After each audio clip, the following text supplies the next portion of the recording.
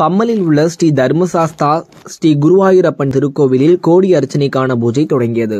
பதினெட்டு நாட்கள் நடைபெறும் பூஜையில் ஏராளமான பக்தர்கள் கலந்து கொண்டு வருகின்றனர்.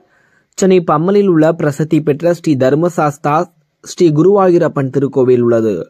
இங்கு ஆண்டுதோறும் நவம்பர் மாதங்களில் கோடி அர்ச்சனை பூஜை நடத்தப்படும்.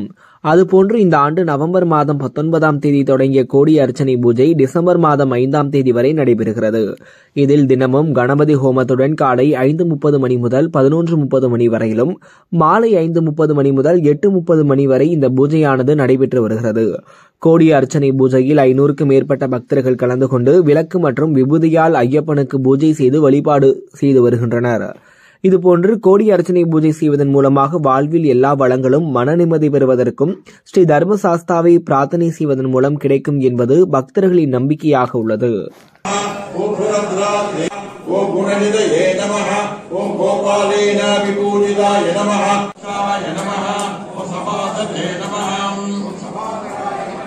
ஓம் சதாமணக்ரியாய நமः ஓம் சிம்ஹாஸ்யாய நமः ஓம் சிங்கரூபாய நமः ஓம் சேனாபதயே सकारकाय नमः।